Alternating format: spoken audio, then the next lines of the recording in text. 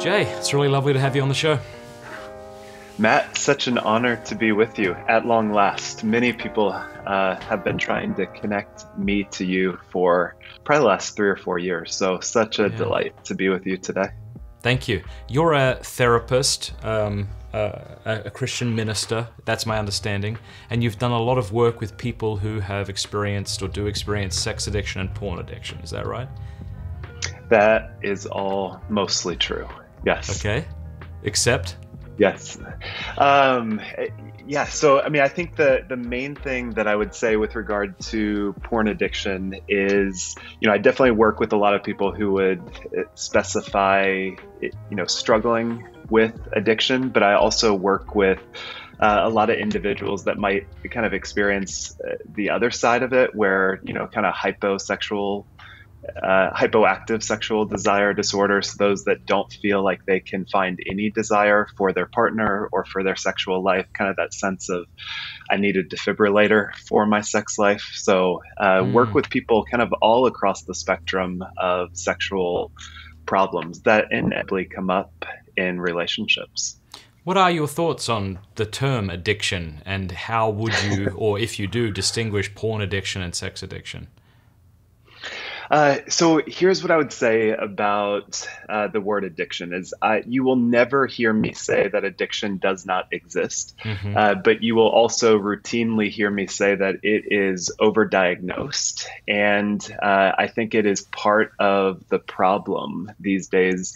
Is not only the problem of you know compulsive porn use, but also the way that we have conceived the problem, as kind of Zizek would say. And so I think all of us need to consider um, the, the phrase that I use throughout a lot of my work is the phrase unwanted sexual behavior.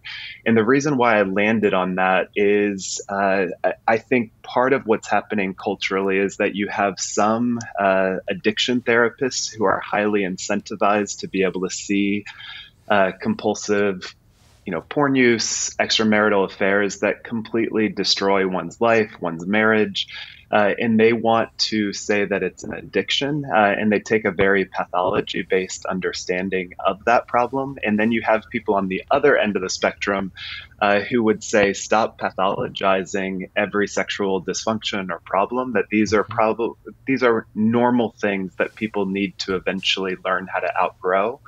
And so I think that's the cultural moment that we're in is we either tend to pathologize and stigmatize normal problems that are existing in our world today, or we try to dismiss them as irrelevant and completely normal.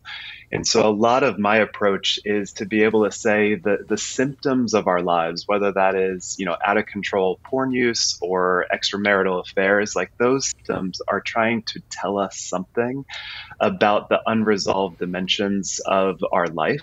And so, hmm. therefore, uh, a much more kind and curious approach with regard to what is at work uh, is needed. So I I have problems. I'm a middle child, Matt, and so uh, this is kind of I think uh, I've probably projected this into the world as well. Uh, but I think that that those seem to be my mother and father, right? Uh, not in not literally, but mother and father, but some framework that just pathologizes and some framework that just normalizes. And I think that both uh, of the ways that we've conceived those issues are part of the problem itself. So uh, we can go as deep into that as you'd like, but I think there are problems that exist, but I think part of the problem is the way that we have conceived the hmm. problem. Mm. That's really interesting. I do want to spend a lot of time talking about how the the type of pornography reveals something maybe unmet in us or something in need of healing. And I love what you said there about more curious and, and less shaming. Uh, but before we get mm-hmm. to that, the kind of deeper yeah. stuff, maybe just want to dwell on this topic for a moment because I suppose part of the incentive some people have in calling pornography ad- an addiction, or at least here's how I would think of it. And I, I really love your take because you've thought about this much more than me. I know that we can talk about addiction as sort of um, maybe psychological way, and people say something like, uh, engaging in behaviors that you feel you don't have any control over or something. But I, I also think if we're willing to say that certain narcotics are, or just even like nicotine or methamphetamines are addictive, and you might say, well, mm-hmm. what objective data would you have to look at to come to that conclusion? And I would I would expect that one way to do that might be looking at the brain. And if it's and so suppose we have some objective data that we can say, okay, this is an addiction, and, and maybe maybe the term addiction is unhelpful because it makes it sound like you've crossed this threshold and now something totally different is at play. But but my, my point is if we can say that there are addictions to nicotine or alcohol based on looking at the brain, we, we, we perhaps could, could be able to say the same thing in regards to pornography, since there are a ton of studies out there that seem to match, um, you know, un- unnatural, if you want, addictions. Mm-hmm. Uh, and, and so so maybe maybe the reason people like me like to point that out is because I think Pornhub and the sexualized culture would like to say no, it's that's insane to say that a natural thing can be addictive in the same way that nicotine can. Uh, mm-hmm. Uh, so that's one issue which I'd like you to address, but but then maybe just the issue of like, well, how helpful is the label either way? So. yeah, uh, yeah. I'll take the second point first. And I would say that it's a mixed bag. I mean, we want to have a proper diagnosis in order to set up the treatment plan. So if I'm going into a doctor and seeing a cardiologist and I have heart disease, I don't want him coming up with, you know, other language to try and disguise the point that uh, some significant interventions need to be made. And so classically, you know, addiction has been that framework of I am trying to stop something, but I'm not able to. And that behavior, whether that's nicotine, alcohol, uh, porn, infidelity, uh, that ha- is beginning to interfere with my uh, relationship with God and others. Uh, that is interfering with my ability to get work done. It might even be having physiological effects. Mm-hmm. So, some of the research that's been done uh, would say that men under 40, I think in the 1940s or 1950s, when this study was initially done, only about 2 or 3% of men under 40 had erectile dysfunction. Now, according to the study, you're looking at rates between 20 to 30 percent. And so uh, I think we have to be able to say uh, there are massive issues that porn creates. And it, again, you won't hear me argue against sure. the language of addiction. I think it exists, but I think culturally it is often one of those battleground issues. And so one of the things mm. that I mm. think about sometimes is uh, I once heard uh, the pastor Tim Keller talk about when you're trying to talk about the idolatry of a particular world, you don't just come at them and say, "Don't do this. This is wrong. Don't do it." But he would say, "What's the idol of the of the Western world?" Well, it's a sense of freedom, right? And so the the real uh, theology that we have to be doing is saying it, are the behaviors that you are doing in your life are they leading to more freedom? So it, hmm. you definitely love your choices. You love that no one else would interfere with it. But now let's look at the data in your life and saying is porn use interfering with you know the freedoms that you desire relationally? Like are you able to feel good about yourself? Are you able to uh, you know is it affecting uh, is it causing erectile difficulties? And so I think that's the framework. Mm. Uh, you know, if we knew that there was going to be just a hot button phrase that isn't crucial to diagnosis in that classical sense, I don't know why we keep defaulting to something yeah. that we know is just going to be. Uh, it, you know people are going to put a stiff arm up to it but if we join in saying like yeah there's some behaviors that are unwanted dimensions of our lives and what can we learn about these things and we can all agree that yes mm. we can become overly conservative and stigmatized but come on let's also be honest that we can try and act like these big issues are not issues at all when they are clearly causing debris throughout society, exploitation, trafficking, porn induced erectile dysfunction. Like, let's look at the science, let's look at the data and say suppression and mindless indulging do not work uh, to bring us into the freedom that we desire and deserve. That's really helpful. In kind of modern Catholic philosophy, we make this distinction between, say, when we're looking at morality, we can look at it from a teleological point of view. Like, are we thwarting mm-hmm. the ends for which this act is in yes. Uh, yeah. Yes. but but then you can also look at it from a phenomenological point of view which is what mm-hmm. John Paul II did in his work on love and responsibility. And it really does seem to strike the heart of modern man in a more powerful way. You know it's like how are you experiencing this? Like so I love how you've done that. Like do you have unwanted behaviors? Why are they unwanted? Why is this something you'd like to stop? Yeah that that seems to be a much more helpful exactly. approach and that's Galatians 5, right? Like it is for freedom that Christ has set you free. So it's not just freedom from porn use or freedom from addiction. It's we have to be able to say, what is the desire uh, that God has put in our hearts? And are we free to pursue those things? Or are there barriers, whether that is porn, uh, greed, uh, some form of idolatry that is per- inhibiting us from finding those desires and that freedom. So. Yeah, Archbishop Fulton Sheen once made that distinction between freedom from and freedom for. And he said, No one's ever gone up to a taxi cab driver and said, Are you free? And when he says yes, you say, Hooray for freedom. I mean, we're, we're, we're, we want to be free from constraint. And that Where are we going? Be, yeah. Yes. Well, what's what's the point of our kind of sexual energies? All right. So That's so great. okay. Can you maybe help us kind of look at this in a deeper way? Because what you've said one mm-hmm. thing that I have repeated so many times because I found it so insightful. Correct me if I'm getting this wrong, but you said when we run from our shame, we legitimize its claims against us. Can you break that open for mm-hmm. me? For sure. So I think that's part of what I was getting at earlier when I said that uh, you know, unwanted sexual behaviors are not random. They are a direct reflection of the parts of our story that remain unaddressed. And so let me let me back up by just kind of talking about some of the research that I did in this realm. So, uh, you know, a lot of the research that is out there basically reconfirms the you know the issue that porn is a problem. So we know that 57% of our clergy, 64% of youth pastors are using it. We know that you know something like two thirds of church going men are using porn. I think it's like a third of all porn users are now women. A third of all people uh, of all marriages will be impacted by extramarital affairs. So most of the data out there basically just reconfirms like there are sexual problems that exist. And so a lot of the research that I did was to really get curious about, you know, what were people's relationships like with their mothers and fathers? Uh, what were some of those adverse childhood experiences like trauma and sexual abuse? Uh, and then also we looked at what were people dealing with in their present day life. Like, did they have a lack of purpose? Were they struggling with depression, anxiety? And then we looked at some of the leading porn sites uh, keep track of what are the porn searches that you know people around the world are most likely to pursue.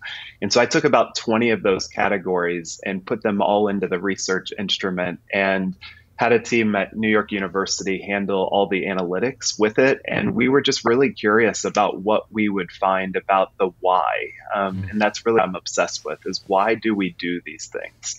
And part of what the data came back with is that uh, there is a relationship between our family of origin, uh, our past trauma experiences, and the sexual uh, behaviors that we pursue, but even more specifically than that, your uh, specific porn searches could be shaped, if not predicted, based on the unresolved parts of your story. And mm. I can mm. get into kind of some of my own life and background with regard to how that works in in my life. But to me, uh, this is the drum that I keep kind of banging: is that this is really good news because mm. it means that your porn struggle is not a life sentence to addiction or to shame it is a roadmap to healing. And so that is the importance of going back, not just to when did you start struggling with porn, but tell me some of those foundational moments in your family or in your middle school years where mm-hmm. uh, the voice of shame really began to solidify because we all know that shame might be a response to participating in a behavior that we're not fond of.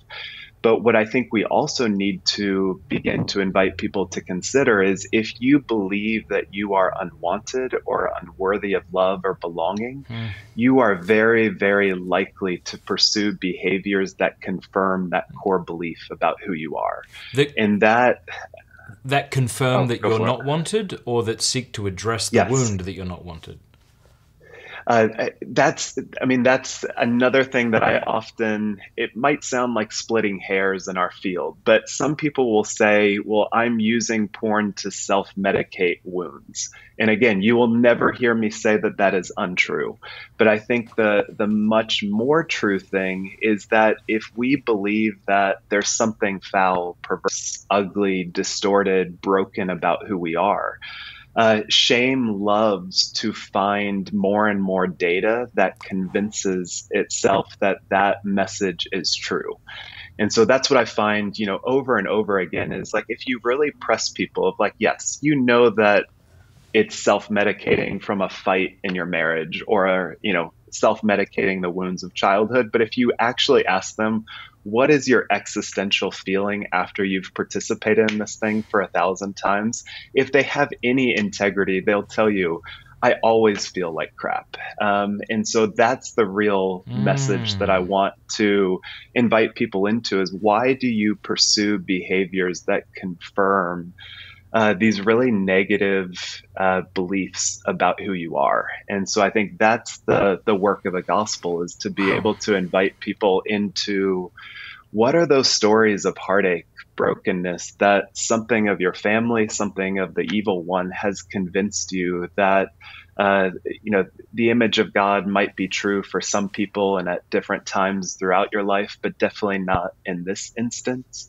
and then you begin to kind of feel like you know what? There's if people really knew who i was um, they would never want anything to do with me. And then you have all of this data and all of this evidence like here's exhibit a b and c in the court of law against myself. And so that's the message that i think we really need to invite people into healing is where did that message of shame really begin to find legitimacy? And then how do we turn and face that message of shame I love your nuance. So, is part of what you're saying that if pornography was merely about self medicating, then when I'm finished, I would feel medicated. But I don't. I feel like trash. So, something else is going mm-hmm. on here.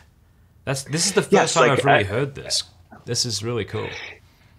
Yeah, I think it's I think it's a big issue in our field, and I again, it might feel like splitting hairs, but I think language matters, right? Um, the language that we use to define a problem, the language that we use to justify why we do what we do, and, and that's you know just even like when you think about Jesus's words in Matthew five.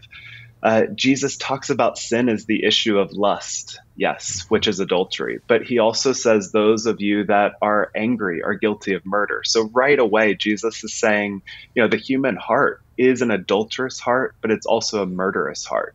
And so I think, especially in Christian mm. communities, that sense of we have defined porn as an exclusively lust issue, but it's also an issue of anger. It's an issue of uh, power. Of you know, in porn, I can get exactly what I want when I want it, and I can you know use another person's body to atone for all of the crap and all of the heartache that I have been through in my life.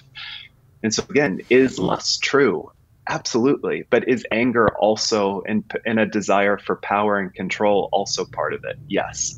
Um, and so same thing with regard to self-medicating is yes, we need something, um, some of the heartache of what we have been through, both presently and in the past but there's so much more to the story than that. And i think it's it's that it's that danger of partial truths that is mm-hmm. uh, so damaging to us when we're thinking about how do we define any particular area of problem.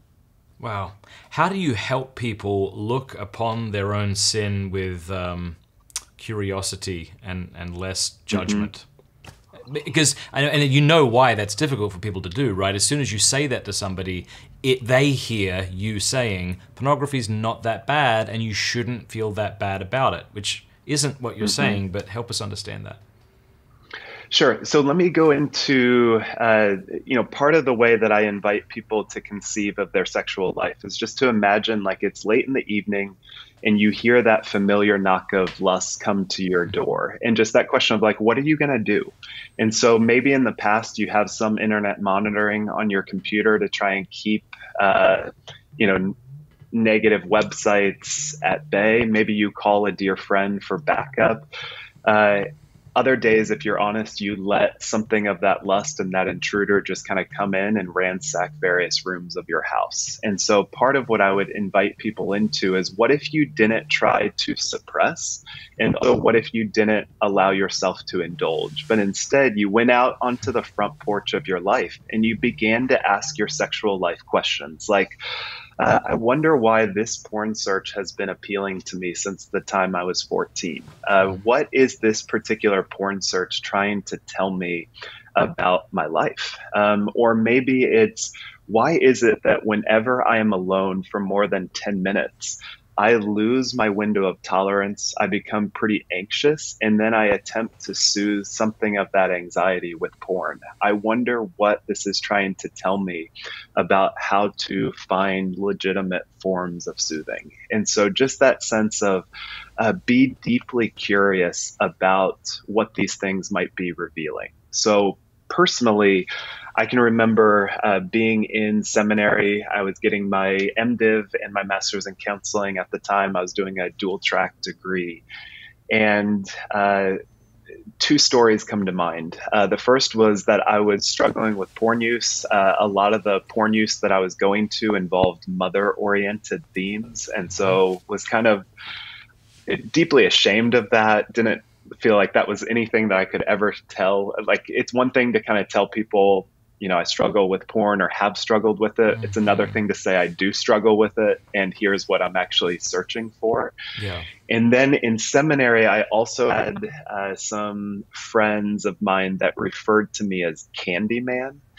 And uh, the Candyman was essentially trying to say that whenever I presented myself relationally to people, I would always try and position myself as offering something of like emotional candy to women that were going through really difficult things in life. I would always ask the questions. I kind of always had this sixth sense for where boyfriends and husbands were not very attuned to their partners. And that's where I would position myself. So that would be kind of the context of my life in seminary, like feeling like a hypocrite and at the same time uh, having the style of relating with women that I found to be very problematic. So I get in to see a therapist, and the the first question that my therapist says is, you know, tell me about your role in your family. And I was, I mean, training to be a therapist, but so irritated with that question because I would have preferred she just said like get some internet monitoring, get into some accountability groups, or maybe you should probably question your call to ministry. Like those yeah. options would have been much easier. But she asked me about my role. And Matt, here's the first scene that came to mind the moment she asked it. And I had never put these pieces together. Uh, my dad was a minister, a Presbyterian minister. And so, you know, probably 200 300 person church. And so when people were going through a crisis it wasn't like the pastoral counselor on staff it was my dad. So they would try and reach him at the church. If they couldn't get a hold of him there they would call our our home and it, my dad didn't have a cell phone at that time and so the answering machine was like the original form of netflix for me so mm. uh, you get to hear all the issues of people you know what people are actually going through not just on sunday morning but you know here's the problems the mental health disorders the porn use the affairs that are happening within the church body wow. And I'll never forget this moment where an elder's wife called and left a message, uh, and she was in tears and had basically said, My husband just had an affair. And I remember watching my dad go into crisis mode. And then I remember seeing my mom uh, just become pretty angry that she was going to lose her husband for yet another night to ministry. Mm. And so that was often my job in my family was to get a sense of, okay, my dad needs to leave to attend to particular things. And now uh, I might need to vacuum the house uh, to be able to help my mom out. I might need to be able to do dishes. I might need to engage my mom in a 20 or 30 minute counseling session essentially to work, work through uh, how she was doing, her anger, her disappointment, and the ways that we could kind of help her think about this differently. And so that was, you know, very early age being groomed for something of a therapist in my in my world. But I think part of what my therapist was inviting me to put together is my mom had used me. Uh, she had used me for emotional gain. She had used me in the midst of the breakdown within their marriage. And that grief has to go somewhere. And so uh, I had never really stepped into the reality that I had not been mothered well. Uh, and so part of the appeal to that porn search was well here's you know in that genre of porn here's a mother that feels very enthusiastic for a young man and so that becomes something of the eroticism but the porn industry is making massive amounts of profits off of triangulation and family systems and unaddressed trauma. And so that sense of I needed to address the grief with my own mom and how I was eroticizing that grief. But the other side to it is that I was deeply angry that the primary woman that God had put into my life to care, to care about my needs, to pursue things that were good for me, had not done that and had kind of flipped the roles. And so, again, porn use is deeply appealing to people who have unaddressed anger in their life. And so, again, that's the mm. intersection of Jesus and pornography is that, mm. you know, porn says, Come unto me, all you are who, who are weary and heavy laden, and I will give you rest. That's also what Jesus says. Uh, mm. You know, the cross addresses the anger uh, the rage within me, the desire for atonement and propitiation, but so does pornography. Pornography says, you know, when you come to this uh, website, you bring all of that unaddressed trauma, all of the anger for anyone not coming through for you, and then you can demand someone else's compliance for you. And so I think that's the invitation to a more curious approach is uh, the porn use that we are seeking out uh, is something like you know like a strand of DNA that's trying to tell us about mm-hmm. where we come from, some of the unaddressed ancestors within us, and so uh, hmm. that that would be kind of my approach is. Uh, you know, don't just fight against porn, fight to discover the connections between the porn that you're pursuing and some of those unaddressed stories within your life. Massively helpful. Um, I think one thing that I have been on guard against when I've been in sort of therapy like sessions, and I imagine this, you know, I'm not unique, is this hesitation to uh, blame my parents, right? It's like, mm-hmm. and why? Well, one, because it feels just super cliche, you know, like uh, it's your dad, you know, it's a relationship with your yeah. dad or something.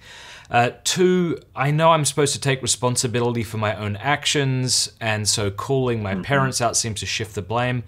Three, I have kids, and if I can blame my parents, then what the hell will they say about me? And that doesn't make me feel good. So, you know, I don't, I don't like the idea that I might have to own some of the things I've put on my kids, and so I'd rather them to you know do you see? So how, how do we begin to to look at family wounds without scapegoating our family? Mm-hmm. yeah so what i love about the bible is that it holds this tension between honor and honesty. And so this notion of we know that abraham is the father of our faith, someone that we revere, um, you know, who left everything in order to go into the land that God had called him to go into. And yet, what do we also know about him? Uh, he attempted to traffic his wife uh, at least twice. Uh, he was a bona fide coward. He's, you know, allowed for the assault of Hagar within his family and all of the abdication. And so I think that's really the invitation of scripture is that it says like yes, we need to honor our mother and father, but do not believe that if you cannot be honest about what you have suffered in them that that is any form of honor whatsoever. Mm. And so I think Jesus kind of takes that even further and he says unless you hate your mother and father, you cannot follow me. And so what he's referring to is that, you know, it's this issue of loyalty. And some of us are very, very committed to being loyal to our parents and therefore are not open to the grief of not being mothered or fathered well. And so God wants your relationship with your father. Why? Because he wants uh, to father you. You know, God wants in some ways for you to see some of your destituteness and your nakedness. Why? Because uh, He wants to clothe you with really good things. And so one of the, you know, the author William Paul Young kind of said, you know, it took me all of 50 years to wipe the face of my father off of the face of God. And I think that's a very honest statement that in many ways our fathers have left us hungering for a father. And that's not blaming them. Uh, that's just being honest. And so I think the you know the core issue for us as parents is not the issue of rupture, but it's far more the issue of repair. And so all parents rupture, but only really good parents seek to repair those ruptures and to step into, mm. you know, mm. here's part of my idolatry. Here's part of, you know, your compliance uh, was so needed in order to reflect positively on my family that I always framed your rebellion as problematic. But in many ways, you were something of a biblical prophet uh, that wanted nothing to do with my forms of religiosity. And so I think that's that's the issue. It's like did, did you, good parents are not those that just went to church Sundays and put food on the table. Yeah. Uh, good parents are those who really stepped into that phrase in Matthew 5 of like, there is an adulterous and a murderous heart within us. And if you didn't have a mother and a father really confess their desire for adultery and murder with regard to the family system, I would claim that you didn't really have parents uh, who were being. What, what you do you mean formed. confess adultery and against the family system? Like, what is that? That sounds very intense. What does that look like? Yeah, so it would be that you know, I, I think of my own kids. Um, I have a daughter who just turned seven, and I was wanting her to comply uh, to something that I was asking and became pretty entitled and angry with her. And so part of what she said back to me was, Dad, do you really want this to be the face of my father for the rest of my life? This is the problem and, of, being a therapist, right? It came back uh, to bite. Of giving kids language. And yes. that was that sense of something needed to, I mean, she was cornering me with a sense of uh, uh, adultery and murder, that sense of, uh, you know, adultery in that Matthew 5 is, is the desire for covetousness, that there is mm-hmm. something that I desired. I didn't just lust for an affair, but I lusted for compliance. I was mm. coveting some level of this is the way that I want my family to look and to sound right now. And you are in the way of my uh, desire. So Idolatry, when she yeah. did not, yeah, when she did not come through with what I was desiring, I made her pay with a look that she rightly called out. And so I think that's what parents are all or children are always doing. If we're if we have eyes to mm. see and ears to listen, as they are, they're not pleased with uh, the nature of our hearts. And so I think that's I think that what a good parent does is I'm not just going to ask for your obedience. I'm going to be able to say maybe some of your disobedience uh, is trying to convey a message to me about how things have have been. So I'm not under the persuasion that you shouldn't give any kids, you know, no rules, no regulations. Like I'm not free range. I think good parenting is we need to be attuned and then we also need to be contained and offer boundaries to our kids. But most of the time, especially in religious households, there's this overemphasis on containment and conformity yeah. at the cost of kind of attuning to what a child is actually trying to uh, desire within the family. I think another thing. Did that, we just go too deep into family systems right now? no, no, that was it's really it's really helpful. Um, yeah.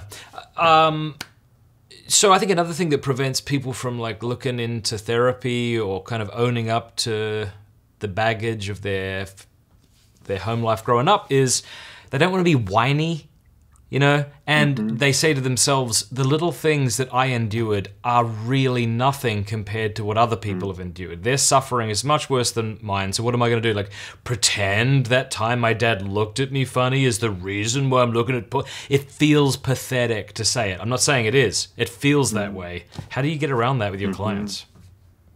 Yeah. Uh, yeah, I mean, I think initially what I would say is like we should never try to compare trauma. Uh, the, in the 12 step tradition, it's don't compare but identify. And so I think in, when you look at uh, some of my friends and colleagues, Dan Allender, Cathy Loerzel, just wrote a book called Redeeming Heartache. And so they're looking at the categories of kind of the orphan, widow, and the stranger mm-hmm. uh, as kind of very, you know, core biblical categories, but also true of dimensions in our mm-hmm. life. And so I think if we're really honest that's what the bible is inviting us into is you know it's not just that someone else has been orphaned someone else has been widowed or someone else has feel estranged. It's like middle school is a prototype of hell. And so if you have not felt alien within middle school uh, did you where did you go to middle school? Because i want to send my kids there. Uh, and all of us have sent, felt that sense of yes i had a mother and a father but if I'm honest, there were maybe one or two places within my life where uh, I lacked a good mother and a good father. And I think that's what, you know, Matthew 5 4 is saying of blessed are those who mourn, for they will be comforted.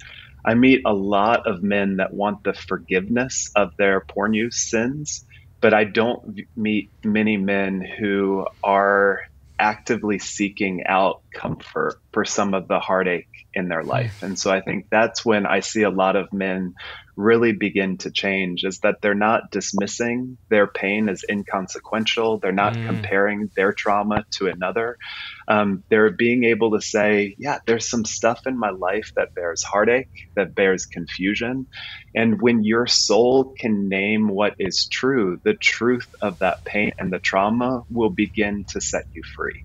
Mm. And so that's, I mean, that's part of it's always just an issue when people first get into treatment is, yeah, I don't want to be whiny. I don't want to complain. Uh, but I think, yeah, it, it's also, I don't want to change the foundation of my life because I've learned how to kind of flick yeah. stuff off my shoulder. I've learned a level of mastery in my own life. And so if you ask me to attend to trauma and to heartache, uh, I don't have my most reliable getaway car, and no way mm. will I live life without mm. that. Yeah, it is strange. Back to what you said earlier about how shame seeks out data to sort of validate itself or something. I remember speaking yes. to a, a therapist, um, and I was skeptical of these kind voices that were coming in, you know, mm. to say good things about me. Um, I thought, well, there's no way they can bloody well be true. So what the hell's this? You know, mm. I, I, think maybe I'm just telling myself what I want to hear. And he he gently be- and beautifully pointed out that you know I've been journeying with you for a while, and this isn't the thing you usually tell yourself. Like what you're usually telling yourself, what you seem to want to tell yourself, is the opposite of these things. Um, it's it's difficult to sort of lay down that defense and try to believe something different. It is, yeah, and I think that that's part of yeah, it's a it's a good question of you know just that question of hermeneutics and how do we understand something? Like if if you are hearing the voice of judgment and condemnation and contempt, I would propose that that is not the voice of God. And so you know I think God don't want to speak for God, cannot speak for God, but in the scriptures that sense of you know after Adam has just eaten of the fruit that he was commanded not to eat from God comes to find Adam and says, Where are you? Uh, to Hagar, who has just been traumatized by the first family of our faith, uh, out in the wilderness, uh, which in the text it reads like, you know, some spring eh, on the road to Shur, and it sounds like something out of the Four Seasons, but it's much more like a truck on I 95 or I 5, like not the place that you want to end up in the ancient Near East. And it's in that place that the angel of the Lord shows up and asks two of the question, two of the best questions that I think can ever be asked of anyone's life, which are where do you come from? The question of your past, and then where are you going? The question of your future. And so I think if we are hearing the voice of God with regard to our sexual struggles or relational struggle, I think that's something of the litmus test is is that voice kind? Is that voice curious? Is it inviting you to deeper reflection about how that sorrow or that sin came to be. And if it's, come on, just get your act together, you should be over this. What is this? The 900th time that you've pursued this? Um, those are accusations. And we know who that who is. is the Revelation 12:10. Yep. Yeah. I, I, think that's yes. kind of part of what we've lost in this sort of concerted effort to throw out Satan, the demonic, and hell it's like, okay, so if that's mm-hmm. no longer on the table, what's left? Well, it's God and Him failing to come through for me, or me just being like fundamentally incapable of getting my shit together. It's like those are my options now. Um, but as you say, Satan is called the accuser of our brethren. And um, I remember hearing that the word paraclete is a word that means defense attorney. So, um, mm. yeah, yeah. So sin is the enemy, the demonic is the enemy, but I I'm wanted by God apparently. I don't it's like Christianity is this beautiful story where God disagrees me disagrees with me when I tell him I'm yeah. rubbish. Um, yes. Yeah, that's And that's, that's I mean that that to me is I mean I heard a seminary professor talk about this. So it's not you know my idea i'm sure it's steeped in theology but part of what he was saying is the parable of the prodigal son is not about the younger brother it's about the older brother uh, and the ending of the parable of that parable is really the question of will the older brother join the party we don't know uh, and I think that's the invitation. Is uh, he, you know, Dan Allender is this guy's name. He says that uh, repentance is returning to the party that God is throwing in your honor. That's what repentance is. And so many of us have have thought that repentance is feeling like shit. I'm glad to hear you say shit. I almost said it two or three times and I was like, can I cuss on that podcast? Um, but yeah, we we have believe that repentance is feeling like crap about who we are. But the issue is that all sin, past, present, future, has already been atoned for. So the real question in that parable is are you going to party because all things are yours in mm. Christ Jesus and so I think that is the freedom that the gospel offers is you know yes wild living I will go and find you but after you come back do you realize that the ring the robe the entire house uh, is yours, and mm. please come to the party uh, in order to find life, to find community, to find joy. And so I, I, think so many of us wait outside of the party because we don't feel like we deserve to go in, or we're really pissed off about mm. how. Uh, lavish God can be with his table invitations to people that we don't think should actually be at the party. Amen. Really beautifully said. Thank you. Um, I'd love to hear some examples of uh, what you what you shared earlier was beautiful about that sort of mother wound and the sort of pornography you were seeking out. I'd love to kind of hear mm-hmm. some more examples. Um, I think in my own life, um, I my primary wound I think seems to be a rejection, and I won't get into mm. all of that. But so for me, what I started to discover was the pornography I would watch would be when a woman is being pleased, and uh, that mm-hmm. to me sort of I think, and you tell me what you think, it's a bit of free therapy here.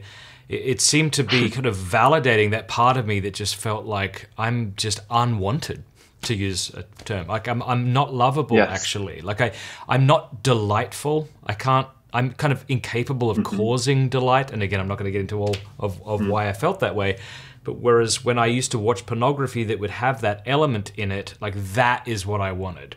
You know, if I remember yeah, yeah. years ago clicking some pornographic video where the woman was expressing no delight and and I was just and I was hmm. just like so turned off by that and it, it, that that was really sort of yeah anyway so feel free to speak to that but then to kind yeah. of give us some other example because okay. it's it's not always easy people just think no I just I just want to look at porn because it feels good and that's true yes. but partially true yep uh, so let me let me go at 30,000 feet and then maybe zoom into the example that you gave so uh, some of the examples that we looked at would be, you know, let's say we use the it was the category of power over. And so it was, you know, did you want someone that was younger than you, a college student, you know, the teen search, uh, maybe a race that suggested to you some level of subservience?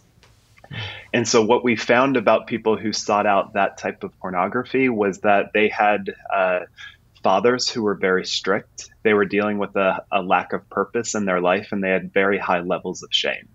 And so, if we just play armchair psychologist for a moment, if you grew up in a family system that your father was very domineering, authoritative, uh, he specialized in creating powerlessness for you. And so, the you know the root word of disciple of discipline is disciple, which means to teach.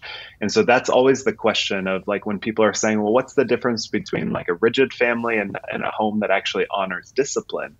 Well, dis- a disciplined family really helps kids to understand. It teaches them about their emotions. It teaches them about why they might be wanting certain things. It teaches them the reason for the law in the first place. It doesn't just kind of say, this is what our family does and you have to comply.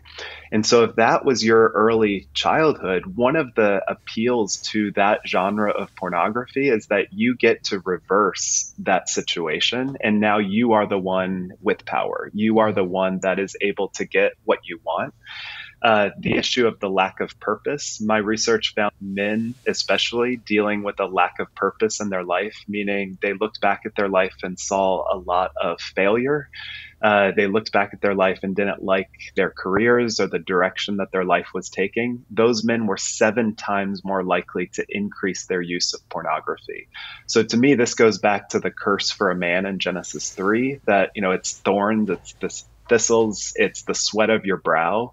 And so i think for for most men there is this baseline experience of futility that yeah i can write a decent book on sexual brokenness but there's going to be a better one that comes out in a mm-hmm. year.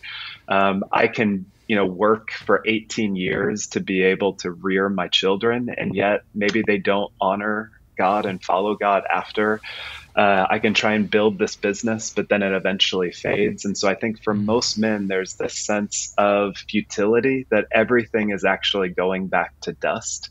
And so pornography gives us this place where, uh, if, at least for, I think Pornhub says that the average male user is on there for like six to eight minutes, maybe mm. seven minutes. So for seven minutes, I don't have to feel like a failure. I can get exactly what I want um, that's really powerful if the background of your life is a lack of purpose. And so uh, that would be one example. The mm-hmm. other example, just for the sake of time, would be uh, the mother oriented theme, or maybe a boss, uh, someone older than you with more authority. We found that those men and women tended to have uh, parents who emotionally confided in them, so like an enmeshed family system uh, they had more of a history of childhood sexual abuse and they were dealing with depression in their life. And so, same thing, try and think about the strategy that if I feel best in life, I might outsource that healing, that soothing to someone older, more beautiful, that can kind of come to me and soothe me and kind of make me feel okay.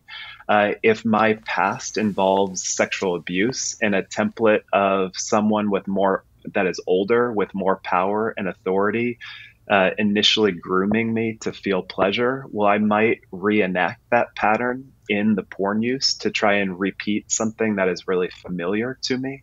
And so, again, the last thing I want to do is to create an encyclopedia of this sure. is what this is your porn search and this is what it says about you. But I think truth is in like as we grapple with scripture, as we tell our stories in community, uh, we're gonna learn things about why we're doing.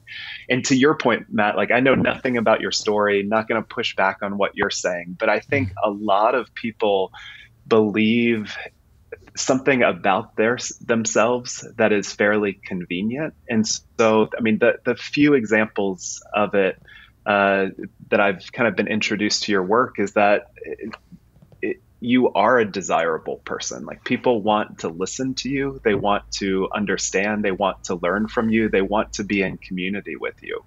And sometimes, if that is the role that we play in our family, we can have a lot of envy uh, from maybe a mother, a father, other uh, siblings in our life, and so it can become a more convenient interpretation for for me to just believe that there's nothing good about myself, because if I actually own that I actually have talents that God has given to me, that becomes much more problematic. Because now I have to deal with the world of envy, and so in porn use for someone like that the porn use can become you know this sense of i'm not willing to see uh, how much pleasure and desire i can bring to the world.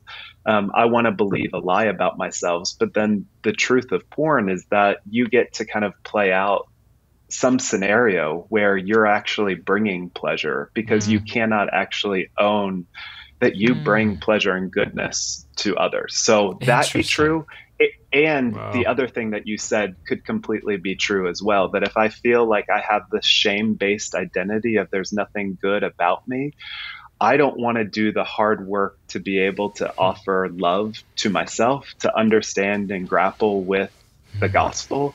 It's just easier to outsource that to something else. Hmm. And clinically, narcissism is not being full of oneself as we've classically understood it narcissism is not knowing who we are. And so, therefore, we look to an image or something else to reflect back to us our worth. And so, whether that is, you know, Mercedes symbol, the amount of books we've written, uh, the amount of men or women that are interested in us sexually or intellectually, all of those things become shortcuts to try and validate who we are.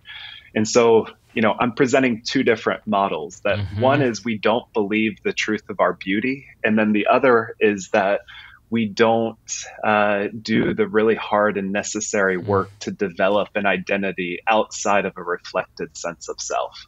And most men, I, I would say, need to do work on both areas, but usually we have one or the other issue at play.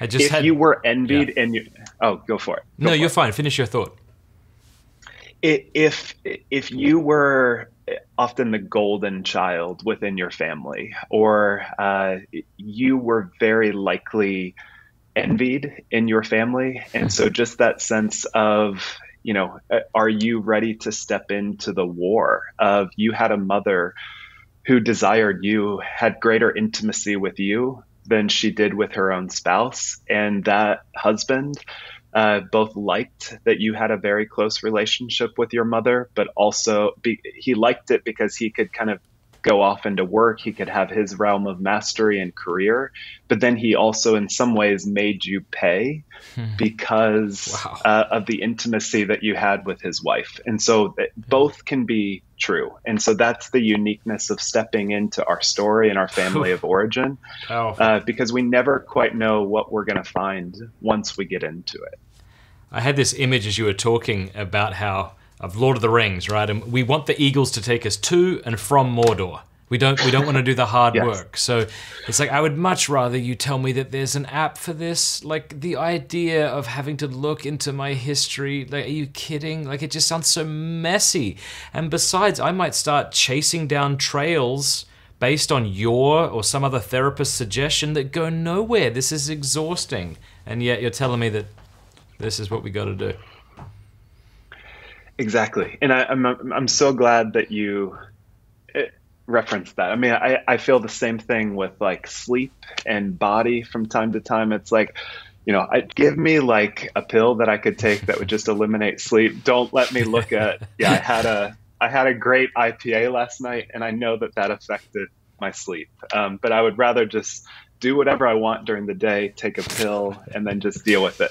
It's I don't like want to look Homer, at lifestyle choices. It's Homer Simpson. I don't know if you remember that episode of The Simpsons where Homer says, "That's tomorrow Homer's problem." Like that's not my problem. That's his problem. One of the best lines in television. Yes, yes, yeah. But okay, but yeah. So the, did you like Fair enough. Yeah. So we, we, I love that. That's a really good analogy. I don't have to have to go to sleep or one day could we come up with a pill where we no longer have to go to the bathroom? I mean, think of how much time is wasted on the bathroom. So we come up with these very unnatural, unhuman supposed remedies, but uh, Yeah, we're to have to do the human work. Okay. All right. So someone's watching this right now and they're convicted. Are you saying to them that they have to go see a therapist to begin this sort of journey? Are you saying it's optimal if they do? What? I'm I'm a therapist, so you should be highly suspicious of everything I say, because um, every profession is a bully, and so we need truth is found in various perspectives. But I would say like therapy is one of the best investments that you can ever make in yourself to understand. Mm your patterns to understand and interrogate some of your motivation to build a new foundation of your life to extend a much more kind and curious approach so yes uh, love that but also i don't think that uh, you know the therapist uh, is the only place of truth or uh, health. And so I think of healing as like a river. And if you look at something like the Mississippi River, that is so powerful, not just because it's the Mississippi, but because it has many different tributaries like the Missouri, the hmm. Arkansas, mm the Tennessee, I, I, get lost after that. But I think it, we need to be thinking about healing as as a as a river no different than the Mississippi, and then to be able to say what are the different streams and tributaries of your healing, and mm. yes to prayer, yes to community, yes to therapy. So it's not a either or; it's a if there is truth and goodness out there and beauty, go and find it. And so I I would go, you know, self care as one psychotherapist. I can't remember her name. Maybe it's Brianna Wiest. Uh, she says that true self care is building a life that you don't constantly need to escape from. It's not about chocolate mm. cakes and salt baths. She says it's about building a life that you don't need to escape from. So that's oh, a tributary of healing. Terrific. Is what what is a life of joy and beauty that you don't need to escape from in porn but that, also that's precisely likely... that's precisely it like I, I i it's funny jay when i was a teenager it was huge into video games and i really liked it i have fond which ones well i'm how old are you i'm 39 so i'm 39 too shut up 83 baby yeah awesome 83 uh yeah. what month well oh july July. Shut up. 16th. No. Eight. Amazing. We eight are days eight older. Days apart. Amazing. Yes. Yeah, so I was into like Red Alert, Doom, Duke Nukem. Yes, totally. That's amazing. That's amazing. And I, I, I, have fond memories. Like my friends would get together, we'd stay up, we'd like eat chocolate, play games, laugh. Like it, it's funny. I tell my wife that I really enjoyed Get that. Jolt like, or Mountain Dew. Uh, well, this was Australia, so we had like Farmers Union, okay. nice coffee, and other things. But I remember telling my okay. wife this, and she's like, "Oh, that's so sad." I'm like, "No, I really don't think it was. Like, I really think it was a nice." Anyway, point is this. Uh, now I'm 38 or 9, however old I am uh, nine, and I'm trying to get back into video games. And I think part of it mm-hmm. is like I want to just not exist for a while. I want to be mm-hmm. as absorbed in this game as I was when I was a teenager, but it's not working. And I'm kind of a little frustrated. Mm-hmm. Like, I, I want to get fully immersed in a game and just mm. sort of lose myself in that, dissociate, as it were. And uh, it's not really working, yes, which is yes. frustrating to me. I'm like, oh gosh, I guess I'm gonna have to go read a book or something else. But but this it idea is, of I just yeah. want to not exist for a while. Yeah, I, I mean, I had the same thing uh, with books, which I mean, different seasons of my life. I had like a Call of Duty phase in grad mm-hmm. school where I was like, I just don't want to deal with this. And I remember going to bed with that sense of like a headshot uh, of just being able to. And that was, I mean, it wasn't so much about killing someone as much as like here's just something like here's a target and I can hit it.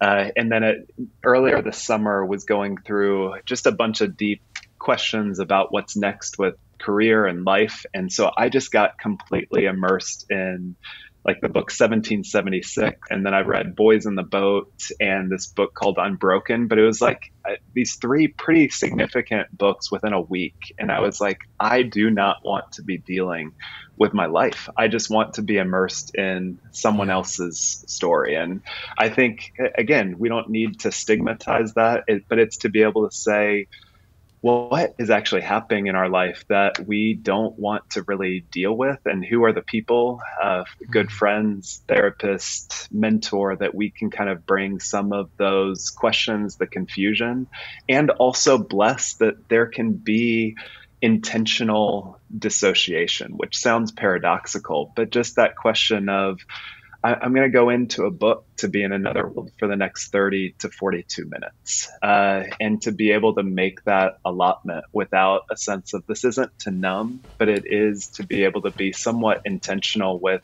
I need a reprieve from some of the difficulty of my life.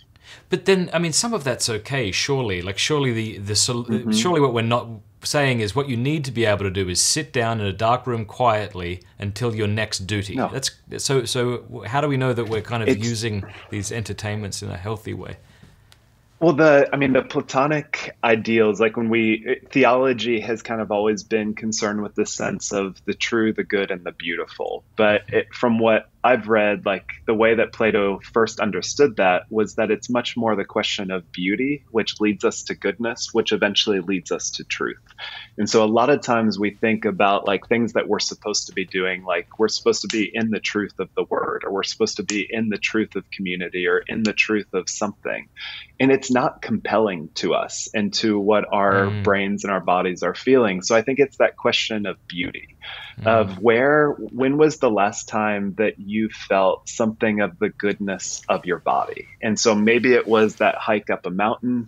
Maybe it was that time that you rode a bike. When was the last time that you saw beauty? And you might think back to fly fishing. You might think back to uh, just like your favorite mountain lake or stream. And so i think that would be part of the invitation mm. is you know what do you find beautiful? Because you are not the author of your heart. Someone put that desire for that type of beauty in there and that is what following god is about is being able to honor the heart that God has given to you. So it's got to be just back to what you were what you were talking about earlier. With it's not just freedom from, mm. but it's a sense of what is your freedom for. And maybe some days you need a mountain, other days you might need a spa or a bath, and some like a really good set of headphones to listen to some of the most beautiful music you can find. So it's that That's sense of how do I curate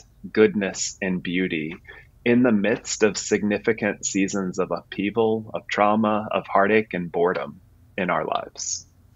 I, will wrap up here, but Thomas Aquinas, who I'm a massive fan of, he has five remedies for sorrow in his giant work, the Summa Theologiae, and the fifth remedy for okay. sorrow is sleep and baths, which is terrific. okay. And he like he writes syllogistically. He gives reasons for why he says this, but it's just I believe it to the point of self care and am I re- is this action rejuvenating me or do I leave it more tired? Yeah.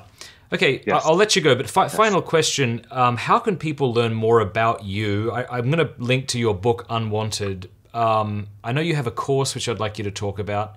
But then finally, mm-hmm. maybe like how, where should somebody look if they want to get into therapy, mm-hmm.